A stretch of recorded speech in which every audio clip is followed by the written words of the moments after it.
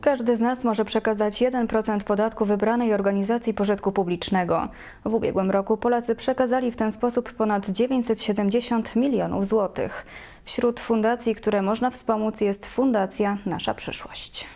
Przekazując 1% naszego podatku nie tracimy nic. Jeżeli nie przekażemy go instytucji z listy organizacji pożytku publicznego, pieniądze trafią do Skarbu Państwa. 1% podatku możemy y, przekazać poprzez usługę Twój EPIT, wpisując tam y, numer KRS-u, jeśli byśmy chcieli y, przekazać 1% podatku na inną organizację niż w latach poprzednich. Jeżeli, chce, jeżeli nie chcemy zmieniać y, tej organizacji, to system automatycznie przekaże y, ten 1% podatku y, na organizację z roku poprzedniego. Mówi Agnieszka Targosz z pierwszego Urzędu Skarbowego w Poznaniu. Aktualny wykaz instytucji, którym możemy przekazać pieniądze jest dostępny w internecie. Z roku na rok coraz więcej Polaków przekazuje 1% swojego podatku. W ubiegłym roku Krajowa Administracja Skarbowa przekazała na konta mm, organizacji pożytku publicznego ponad 970 milionów złotych. Tłumaczy Agnieszka Spychała z Izby Administracji Skarbowej w Poznaniu. 1% podatku można przekazywać na rzecz Fundacji Nasza Przyszłość.